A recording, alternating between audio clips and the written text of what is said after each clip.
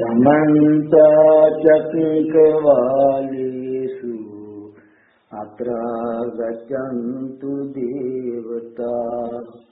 सदमं मुनिराजंस शृणन्तु सद्मुखदम् धर्मश्रवणकालो अयं वदन्ता। බදන්තා ධම්මශ්‍රවණකාලෝ අයං බදන්තා ධම්මශ්‍රවණකාලෝ අයං බදන්තා නමෝ තස් භගවතු වරහතු සම්මා සම්බුද්දස්සේ නමෝ තස් භගවතු වරහතු සම්මා සම්බුද්දස්ස නමෝ තස් භගවතු වරහතු සම්මා සම්බුද්දස්ස සර්දාවන්ත වාසනාවන්ත පින්නතුනි පින්නතිනි අද ධර්ම දේශනාව පවත්වන්න බලාපොරොත්තු වෙන්නේ විස්මිත කුණ්ඩලිනිය සහ ධානය යන මාතෘකාව ඇති. අපේ රටේ විශේෂයෙන් තරුණ පිරිසගේ ලොකු උනන්දුවක් පහුගිය කාලේ ඇති වුණා මේ කුණ්ඩලිනී ශක්තිය පිළිබඳව. නමුත් අපේ රටේ කාර්යවත් උනන්දුවක් ඇති වුණේ ධ්‍යාන පිළිබඳව. මෙන්න මේ පිළිබඳව පැහැදිලි කර ගැනීමක් අවශ්‍ය වෙලා තියෙනවා. කුණ්ඩලිනී කියන වචනය ලංකාවට ආවේ ටෙලිනාට්‍යයක් කරා. ඒ අනුව අපේ රටේ බොහෝ දෙනෙක් විශ්වාස කරන්න පටන් ගත්තා මේ කුණ්ඩලිනී කියන එක මහා අමුතු විස්මිත බල ශක්තියක්. හිතුව ප්‍රතිදේ කරන්න පුළුවන් දෙයක්. හැරඩින්ගේ පුදුම පහන වාගේ. ඒ වගේම සමහර කතුරුවරු ලියලා තියෙනවා පොත්පත්වල කඩුවතු ගැඩුවා කොස්සතු ගැඩුවා ගල් පෙරළුවා වගේ දේවල්. ඒ නිසා ලංකාවේ බොහෝ දෙනෙක් මේ කුණ්ඩලිනිය පිළිබඳව වැරදි මතයක තමයි ඉන්නේ. මොකද්ද මේ කුණ්ඩලිනිය කියන වචනේ තේරුම? කුණ්ඩලිනිය කියන්නේ සංස්කෘත භාෂාවෙන් නාගයට කියන වචනයක්. ඉන්දියානු සංස්කෘතියේ පමණක් නෙවෙයි බෞද්ධ සංස්කෘතියේ නාග කියන වචනේ පාවිච්චි වෙනවා. මේ කොඳුරෑනේ ඡායා රූපයක් ඔබ කවුරුත් දැකලා ඇති. බලන්නේ නාගයේ ආකාරයෙන් තමයි මේක ගමන් කරන්නේ. පිළිලදී.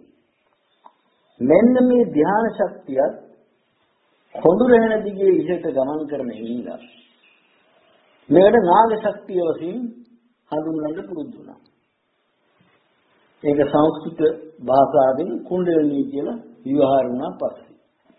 එහෙම නැතුව මේ කුණ්ඩලිනී කියලා වෙනම ශක්තියක් නෙමෙයි මේක ධ්‍යාන ශක්තියමයි. අපේ රටේ වරද්දගෙන තියෙන්නේ මේකයි. ඊළඟට වරද්දගත්තු තැනක් තමයි කිසිම සීලයක් නැතුව සිත කය වචනේ සංවර කරගන්න නැතුව එක් එක්කෙනාගේ පරිගන්න විස්මිත බලපෑරාක්‍රම පෙන්වන්න මේ කුණ්ඩලිනී ශක්තිය අවදි කරගත්තාම පුළුවන් කියලා. ඒක සම්පූර්ණ වැරදි මතයක්. පිරිසිදු සීලයකින් තොර කිසිම කෙනෙකුට මේ කුණ්ඩලිනී ශක්තියවත් ධානයවත් ලබා ගන්න බැහැ. යෝග දර්ශනීය වගේම අපේ බෞද්ධ දර්ශනය තුල මේ මාර්ගය ආරම්භය වෙන්නේ සීලයෙන්. ඉන්දියාවේ මේ සීලය සීල වෘත බවට පත් කරගෙනත් ඉන්නවා පංගුව. මේ සීලය නැතුව කුණ්ඩලිනි ශක්තිය අවදි කරගන්නවත් ධ්‍යාන ශක්තිය අවදි කරගන්නවත් බෑ. මෙන්න මේක තමයි අපේ රටේ තියෙන වැරදිම ඊළඟට මේක අවදි කර ගැනීමට කලේ විවිධ පුද්ගලයෝ බලන පොත්පත් දිහා බැලීම. ලෝකේ පුරා මේ පිළිවෙල විවිධාකාර පොත්පත් ලියවිලා තියෙනවා. ඒ පොත්වල පරිවර්තන ලංකාවේ තියෙනවා තමන්ගේ ඉදිරිපත් කිරීම වශයෙන් තමයි ඒක කර්තෘ දක්වලා තියෙන්නේ. ඒ පොත් ලියපු අය වෙන දෙයක් දන්නේ නැහැ. තනින් තනින් අහුලගත්තු දේවල් පොත්වල ලියුවා. අවසානදී ලංකාවේ කිසියම් පිරිසක් බරපතල වැරදි මිත්‍යාවකට පත් වුණා. ඒ පොත්වල තියෙන භාවනා බලලා සැලකිය යුතු පිරිසක් ව්‍යාධීන්ට පත් වුණා. මා ළඟට සැලකිය යුතු කොටසක් ආවා. ඒගොල්ලෝ සූපත් වෙලා ගියා. මේ කුණ්ඩලි ශක්තිය අවදි වෙන්නේ කොහොමද? කොහොමද? යෝග දර්ශනය තුල පැහැදිලි කරලා තියෙනවා මෙන්න මේ. සෑම මිනිස් සිරුරකම කොළු රැහෙන මූලයේ ඉඳලා ශක්ති මධ්‍යස්ථාන හයක් නල්ල වෙනකම් ඉහළට තියෙනවා කියලා. මේ අය හඳුන්ලා දුන්නා පළමු යන්නේ කොඳු රැහෙන මුල මූලාධාර චක්‍රය. ඊළඟට ලිංගේන්ද්‍රයන්ට පහලින් තියෙන ස්වාදිෂ්ඨාන චක්‍රය. ඊළඟට නාභිය කෙලින් පිටිපස්සේ අඟලක් විතර ඊට පහලින් තියෙන මණිපුර චක්‍රය. ඊළඟට හදවත ආශ්‍රයෙන් පිටිපස තියෙන හනාත චක්‍රය. ඊළඟට උගුර ආශ්‍රිතව තියෙන විසුද්ධි චක්‍රය. අවසානයේක දෙබැම මැද නාහයට කෙලින් පිළිටි ආඥා චක්‍රිය වශයෙන් කූටස්ත්‍ය වශයෙන් මේ සඳහන් කරලා තියෙනවා. විවිධ නම් වලින් තියෙනවා. මෙන්න මේ චක්‍ර හය හිමි පාටවල අකුරු දෙවිවරු යෝග දර්ශ සාහිත්‍යයේ තියෙනවා. ඉන්දියාවේ මිනිස්සුන්ට දෙවිවරු නැතුව පාට නැතුව වර්ණ මේ කොහොමවත් පැවැත්මක් නැහැ. අධ්‍යාත්මික පැවැත්මේදී විශේෂයෙන් ඒගොල්ලන්ට මේ වර්ණ අකුරු පාට ඕනේ. ඒක ඒගොල්ලන්ගේ සංස්කෘතිය දෙයක්. ඊළඟට මේක අවදි කරගන්න පෙර ඒ යෝගීන් කරනවා සීලේ පිහිටි. සීලේ පිහිටලා යෝග අභ්‍යාස කරනවා. යෝග අභ්‍යාස කරලා අවසානයේදී ඊටාම හොඳින් කයර ජීව පවත්වගෙන බොහෝ වේලාවක් ඉඳ පුරුදු වෙනවා. ඒකට කියනවා ආසන ජය ලැබීම කියලා. අන්නේ ආසන ජය ලැබීමෙන් පස්සේ තමයි මාර්ගයේ ඉතුරු හරිය යන්නේ. මේ බෞද්ධ දර්ශනය තුල නිර්වාණ මාර්ගයේ සාර්ථක කරගන්න මෙන්න මේ ආසන ජය ඕනේ. නමුත් මේ ගැන කිසිම සැලකිල්ලක් අපේ ශාසනයේ වගේ උත්තම මෙතෙක් දරලා නැහැ. පල්ලංකං ආභිච්ඡා උතුංකායම් පරිණාය පරිමුඛං සතින් උපට්ඨපිත්වා කියලා භාග්‍යතුන් වහන්සේ ආනාපාන සති භාවනාවේදී ආරම්භ කරලා තියෙනවා. ඒකෙදි පැහැදිලි කරලා තියෙනවා නිසි විදිහට පරඟපදේන කාය ඍජුව තියාගන්න. ඒ වගේම භාග්‍යතුන් වහන්සේ දේශනා කොට බදාළ වෙනස් සූත්‍රවල ධ්‍යාන වැඩිම සම්බන්ධයෙන් කතා කරද්දී පළඟ බැඳ ගන්න උපදෙස් දීලා තියෙනවා. බලන්න ගිරිමානන්ද සූත්‍රය. අනිත්‍ය සංඥා අනාත්ම සංඥා ඒව වඩද්දී කොතනකවත් දක්වන්නේ කය පළඟ බැඳගෙන කය ඍජුව තියාගන්න කියලා. නමුත් අවසානයේදී ආනාපාන සති වැඩිීමේදී පැහැදිලි දක්වලා තියෙනවා නිසි විදියට පළඟ බඳගෙන කාය ඍජුව පවත්ව ගන්න කියලා. මේකෙන් පැහැදිලි වෙනවා ධ්‍යාන වැඩිීමේ භාවනාව කරද්දී අනිවාර්යයෙන්ම කාය ඍජුව පවත්ව ගන්න ඕනේ. ඊළඟට අපේ රටේ වැරදි මතයක් තියෙනවා විදර්ශනාව පිළිබඳව. විදර්ශනාව කරත් අවසානයේ ධ්‍යානයටපත් වෙනවා. එසේ ධ්‍යානයටපත් වෙන්න පුළුවන් වෙන්නේ නිසි විදිහට කාය පිළිතුගත්තු කෙනෙකුට පමණයි.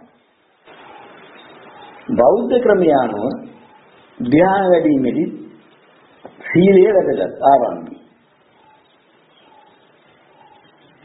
ඒ සීලේදී සමාධි සංවත්තිනික සීලය කියලා දක්වලා තියෙනවා. කිසිම කෙනෙක් මේ ගැන උනන්දුවක් දක්වලා නැහැ මේක. ඒ සමාධි සංවත්තිනික සීලය කියන එකෙන් තේරුම් ගන්න ඕනේ නිසි විදිහට පළඟ බඳලා ඉඳලා පුරුදු වෙන්න ඕනේ කියලා. අපේ රටේ මේ පිළිබඳ උනන්දුවක් ඇත්තෙම නැහැ. ඊළඟට භාගතුන් වහන්සේ දේශනා කරන ලද ධර්මයේ තුල මේ ධ්‍යාන වැඩිවීමට එහෙම නැත්නම් මේ කුණ්ඩලී ශක්තිය අවදි කර ගැනීමට අවශ්‍ය උපායම් දක්වලා තියෙනවා. ඒ දක්වලා තියෙන එකම එක ප්‍රධාන උපායක් තමයි අභිවාදන සීලිස්ස නිච්ඡම් වජ්ජාපචායිනෝ චත්තාරෝ ධම්මා වද්දන්ති ආයුවන්නෝ සම්බලං මෙන්න මේ ගාථාව අහපු නැති කෙනෙක් නෑ බෞද්ධයෝ අතර මේ ගාථාවේ තේරුම දන්නේ නැහැ තේරුමින් කියන්නේ උත්සවයෙන්ද වඳින පුදුන කෙනාට ආයු වර්ණ සැප බල ලැබෙනවා කියන එක. ඒ කියන්නේ নমස්කාරය තුලින් ආයුෂ වර්ණයේ සැපය හා බලය ලැබෙනවා කියන එක. අන්නේ ආයු වර්ණ සැප බල ලබාගත්තු කෙනාට පහසුවෙන් ධ්‍යාන වඩන්න පුළුවන්. ඒ නිසා බෞද්ධ ක්‍රමේදී අපි උපාය වෙන්න ඕන ධ්‍යාන වලදීනේ යෝග අභ්‍යාස කිරීම නෙවෙයි සිත කය වචනයෙන්ම වන්දනය කිරීම. වන්දනය කරන්නේ කාටද? තෙරුවන්ට. ඒ ආර්ය මහා සංඝ රත්නය අතරින් තෝරගත්තු තමාගේ කල්යාණ මිත්‍රයන් වහන්සේට. ආගේ වන්දනය ටික කාලයක් නිසි විදිහට පුරුදු කරන්න ඕනේ. වන්දනය කියලා අද කරන විදිහට පිටිපස්ස පැත්ත රුඟේ උස්සලා අක්‍රමවත් ඒ වන්දන වෙන්නේම නෙවෙයි. මේ වන්දන ක්‍රම සියල්ලම ඉන්දියාවේ තමයි ඇති වුනේ. අදත් ඉන්දියාවේ වන්දන ක්‍රම තියෙනවා. ඒ වන්දන ක්‍රම සියල්ල බලලා අප විසින් දණ්ඩ නමස්කාරය සහ වජ්‍රාසන නමස්කාරය වශයෙන් වන්දන ක්‍රම දෙකක් හඳුන්වලා දීලා තියෙනවා. ඒ පිළිබඳ වීඩියෝ පටියකුත් දක්වලා තියෙනවා. අන්නේ දණ්ඩ නමස්කාරයේ සහ වජ්‍රාසන නමස්කාරයේ මාස කීපයක් පුහුණු වෙන කෙනාට පහසුවෙන් පළකට ගන්න පුහුණු වෙන්නත් පුළුවන්. එවැගේම ඒ පුහුණු වෙන කාලෙදී ශ්‍රාවකයා සත්‍යයනය කරන්නේ. අද සත්‍යයනය පිළිබඳ ලොකු උනන්දුවක් කාගේවත් නැහැ. ඇදලා පැදලා භික්ෂුවරින් ගාත කියන්න තමයි උනන්දු වෙන්නේ. ඒකනේ ලාභ සත්කාර කීර්ති ප්‍රශංසා ලබා ගන්න පුළුවන්. ජනප්‍රිය වෙන්න පුළුවන් කියලා හිතන්නේ ඒකයි. නමුත් භාගතුන් වහන්සේ දේශනාවට වදාලා භික්ෂුවරෙන් බණ කියන්න එපා කියලා භික්ෂුවට. නමුත් අර භික්ෂුවරෙන්මයි කියන්නේ. අන්න ඒ නිසාම සමාධිය බිඳිලාද. නමුත් මේ කුණ්ඩලිනී ශක්තිය හෝ ධ්‍යාන අවදි කර ගැනීමට බලාපොරොත්තු වෙන කෙනා කෙටි සුවරෙන් සත්‍යයනය කරන්න ඕනේ. ඒදී ඉන්දිය යෝගින් ඕම් ඕම් ඕම් කියලා සත්‍යයනය කරනවා. අපි නමෝ බුද්ධාය නමෝ බුද්ධාය නමෝ බුද්ධාය නමෝ බුද්ධාය නමෝ බුද්ධාය නමෝ බුද්ධාය කියලා සත්‍යයනය කරනවා. සාමර වෙලාවට භූත දෝෂෙම තියෙන අය මේ විදිහට සත්‍යයනය කිරීමෙන් සුවය ලබනවා. කොහොමද? ඕම් නමෝ බුද්ධාය නමෝ බුද්ධාය නමෝ බුද්ධාය ඕම් නමෝ බුද්ධාය නමෝ බුද්ධාය නමෝ බුද්ධාය ඕම් නමෝ බුද්ධාය නමෝ බුද්ධාය නමෝ බුද්ධාය ඒ ක්‍රමයෙන් සත්‍යයනය කරා කිව්වත් නිර්වාණ මාර්ගයට ඒක බාධාවක් වෙන්නේ. ආරම්භයේදී තමන්ගේ නියම විභාගය ඇති කරගන්න කොමනයි ඒක කරන්නේ. දිගටම ඕම්කාර සත්‍යයනය කිරීමක් අපේ මාර්ගේ නෑ. ඒ වගේම සාරිවාණි අචාන්තා ස්වාමීන් වහන්සේගේ ශිෂ්‍ය පරපුරේ දිගටම සත්‍යයනය කරේ මෙහෙම. බුද්ධෝ බුද්ධෝ බුද්ධෝ බුද්ධෝ බුද්ධෝ බුද්ධෝ බුද්ධෝ බුද්ධෝ බුද්ධෝ කියලා. ඒ වගේම තවත් කෙනෙකුට මෙහෙම සත්‍යයනය කරන්න පුළුවන් අවශ්‍ය නම් අරහං අරහං අරහං අරහං අරහං අරහං අරහං අරහං අරහං ඒ විදිහට. ඒ කොයි ක්‍රමයකින් හෝ ඊතා කිතින් පැය බාහිර වැඩි කාලයක් සත්‍යයනය කිරීම තුළින් විශාල කායික සහ මානසික පාරිශුද්ධතාවයක් ඇති වෙනවා. ඒ පාරිශුද්ධතාවයේ හේතු වෙනවා ධානයටපත් වීම. ඉන්දියාවේ භාෂාවෙන් කියනවා නම් කුණ්ඩලිනිය අවදි කරන්නේ. ඊළඟට ඉන්දියානු යෝග දර්ශනීය කියනවා මේ කුණ්ඩලිනී ශක්තිය අවදි කරන්නේ ගුරුවරයෙක් අවශ්‍යයි කියලා. ඒ වගේම අපේ භාගතුන් වහන්සේ දේශනාවට වදාළා මේ ධර්ම මාර්ගයේ යන්නේ කල්යාණ මිත්‍ර සේනය අවශ්‍යයි කියලා. නමුත් මේක හරියට තේරුම් අරගන්නේ නැහැ. හොඳ ලස්සනට ඇදලා පැදලා බණ කියන ලොකු වාහනයකින් යන වැඩි පිරිසක් ඉන්න කෙනා තමයි කල්යාණ මිත්‍රයා කියලා අපේ ශාසනයේ ශ්‍රාවකයෝ හිතන්නේ. ඒක සම්පූර්ණ වැරදි. කල්යාණ මිත්‍රයා කියන්නේ ධ්‍යාන විමෝක්ෂ මාර්ගඵල ලබාගත්තු කෙනෙක්. එයා ආර්ය මහා සංඝරත්නයටයි. එවැනි කෙනෙකුගෙන් තමයි උපදෙස් අරගෙන මේ භාවනාව කරගෙන යන්නේ. එතකොට කුණ්ඩලිනී අවදි කිරීමේදී ධ්‍යාන ශක්තිය අවදි කිරීමේ දෙකටම මේ විදිහේ කල්යාණ මිත්‍රයෙක් අවශ්‍යයි. කුණ්ඩලිනී ශක්තිය අවදි කිරීමේදී යෝගාභ්‍යාසය ඇරෙන්නේ. ඒ ඕම්කාරයේ සත්‍යයන්ය ඇරෙන්නේ ඒගොල්ලෝ කරන තව භාවනාවක් තියෙනවා. ඒක තමයි ප්‍රාණයාම භාවනාව. ප්‍රාණයාම භාවනාව කියන්නේ ඇඟිලි තුඩි නාසයේ අග ඇඟිලි තුඩු වලින් පාලනය කරමින් ශ්වසනේ ආස්වාස් ප්‍රාසායේදී ඒ සඳහා නිති ක්‍රම වේදයක් තියෙනවා. ඒවා මේ අවස්ථාවේදී පැහැදිලි කරන්න වෙලාවකුත් නැව අවශ්‍යයි. ඒ වෙනුවට භාගතුන් වහන්සේ ඉදිරිපත් කළ ක්‍රම වේදේ කුමක්ද? ඒ තමයි ආනාපාන සති භාවනාව. ඒ ආනාපාන සති භාවනාවෙන් අර චක්‍ර අවදි වෙනවා. භාගතුන් වහන්සේ දැනගෙන ඉන්න නැති එක අවදි වෙනවා. අපිට කිව්වේ නෑ. අවශ්‍ය නැහැ. ආනාපාන සති භාවනාදී ආස්වාද ප්‍රාස්වාසයේ මුල මැද අග කියලා අපි බැලුවොත් මුල තමයි ස්වාදිෂ්ඨාන චක්‍රයත් මූලාධාර චක්‍රයත් තියෙනවා.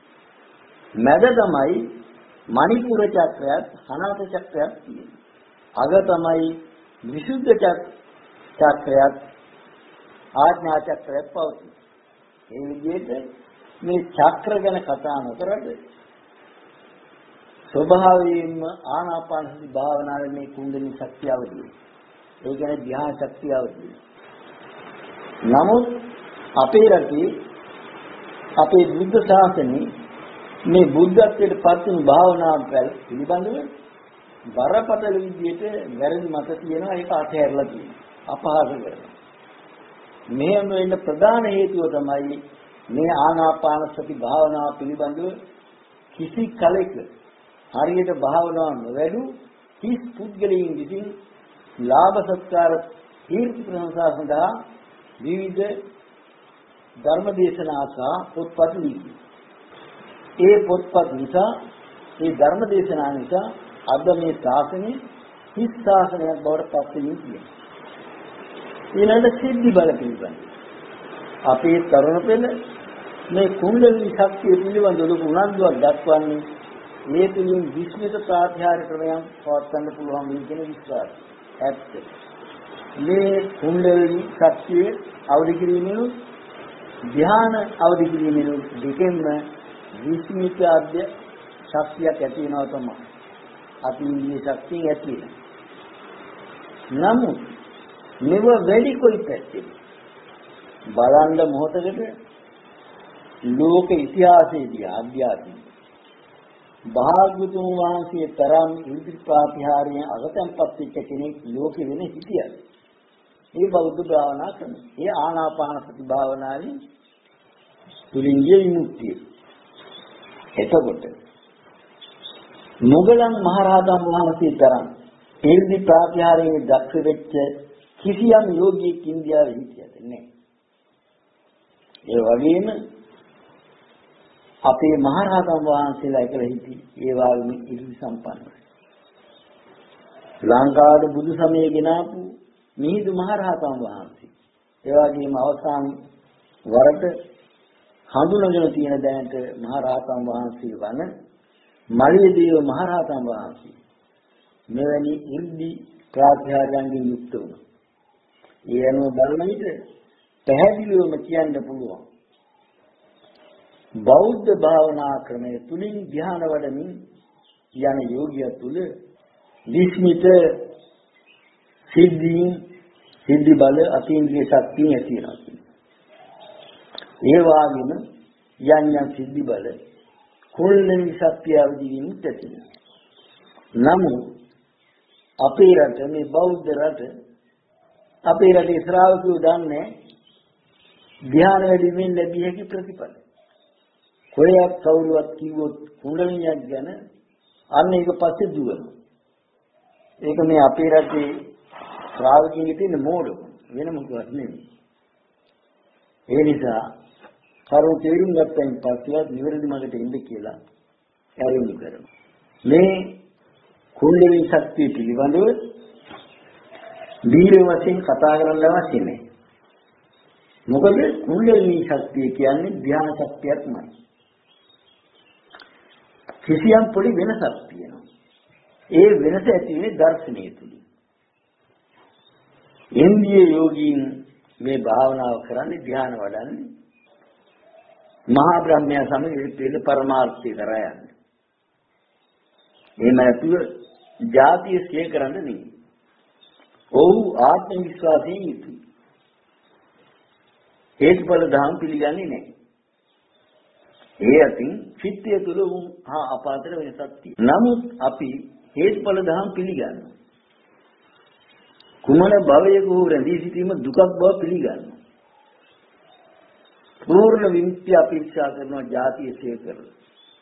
ආරම්භය සඳහා යන මාර්ගය තමයි භාගතුන් වාදී දේශනා කරේ. ඒ නිසා ධ්‍යාන වලලා ඒ සඳහා යන මාර්ගය යන පින්වතා පින්වතිය තුල විස්මිත ප්‍රාතිහාර්ය ශක්තියන් ඇති වෙනවා. ඉන්දිය යෝගින්ද වැඩි. මෙන්න මේ කාරණේ හොඳින් තේරුම් ගන්න අපි රටේ. ඔය කියන කුණ්ඩලිනී ශක්තියද වැඩි බලයක් අපේ බෞද්ධ භාවනා ක්‍රමය තුල ඇති නමුත් අපේ රටේ ඉන්න පිරිස මුලට ඉන්න කට්ටිය වෛරීත්තන් මේ ධ්‍යාන වැඩිම ප්‍රතික්ෂේප කරලා ගර්හාවට ලක් කරලා ඒ ධ්‍යාන වැඩිම ප්‍රතික්ෂේප කිරීම තුළින් ගර්හාවට පත් කිරීම තුළින් කොතෙන්දපත් උනේ මිත්‍යා දෘෂ්ටිය ආර්ය අෂ්ටාංග මාර්ගයේ අවසානය සම්මා සමාධියයි. සම්මා සමාධියටපත් වෙන්න නම් පළවෙනි දෙවෙනි තුන්වෙනි හතරවෙනි ධ්‍යානෙ වශයෙන්පත් වෙන්න ඕනේ. ඒදී අවසානයේදී සතර සතිපට්ඨානයේ සතිය පවත්වාගෙනයි ඒක කරන්නේ. යෝග භාවනාවලදී අවසානයේ නිර්විකල්ප සමාධියයි. ඊට පෙර සවිකල්ප සමාධි අවස්ථා තියෙනවා පළවෙනි දෙවෙනි ධ්‍යාන කිව්වා. සම්මා සමාධියටපත් උනයින් පස්සේ නිර්විකල්ප සමාධියටපත් උනයින් පස්සේ ආස්වාසිය ප්‍රස්වාසය නතර වෙනවා. ආස්වාස ප්‍රාස්වාසය කියන්නේ කෙලෙස් සමග ඇති වෙන දෙයක්. කෙලෙසින්ගෙන් තොර කෙනා තුල ආස්වාද ප්‍රාස්වාසයක් අවශ්‍ය වෙන්නේ. ඒක සංහිඳිනවා ඉතා පියුම් බවට පත් වෙනවා. ඒ වගේම හතරවෙනි ධ්‍යානයේ පත්‍ච්ච බෞද්ධ භාවනා යෝගියාගේ නිර්විකල්ප සමාධියට පත්‍ච්ච ඉන්දිය යෝගියාගේ ආස්වාසී සහ ප්‍රාස්වාසී ක්‍රමයෙන් සිව් වෙලා නැති මට්ටමට පත් වෙනවා. මෙන්න මේක විමුක්ති මාර්ගයේ වැදගත් කඩිනක්. බෞද්ධ යෝගියන් නම් එතෙන් සිට විදර්ශනා ප්‍රඥාව බහුල කරමින් විමෝක්ෂ මුඛ ඇති කරගෙන විමුක්ති ඥාන දර්ශන ඇති කරගෙන අරහත් ඵලයටපත් වෙන්න පුළුවන්. පින්වතුනි පින්වතුනි මේ පිළිබඳව දීර්ඝ දේශනා කිරීමෙන් වැඩක් අපි ධ්‍යාන වඩන හැටි ඒවා පිළිබඳව මීට පෙර දේශනා කරලා තියෙනවා. নমස්කාර සජ්ජායනය කරන හැටි දේශනා කරලා තියෙනවා වීඩියෝ උපදේශ ඉදිරිපත් කරලා තියෙනවා. ඔබ උත්සාහ දරන්න ඕන කල්යාණ මිත්‍රෙක් හොයාගන්න. කල්යාණ මිත්‍රයා කියන්නේ ධ්‍යානියෝක් ලබාගත්තු කෙනෙක් මිස නිකම්ම හැඩදම දමා දිගට ඇද ඇද බණ කියන කෙනෙක් නෙවෙයි. ඒ වගේම ලංකාවේ රහතන් වහන්සේලා පිරිසුදුත් ඉන්නවා කියලා ඒගොල්ලෝ ප්‍රකාශ කරලා තියෙනවා. මම නම් දන්නේ. හැබැයි මේ රහතන් වහන්සේලා කියන අයත් කවුරුවක්වත් ධ්‍යානවුත් නම් පත් වෙලා නැහැ.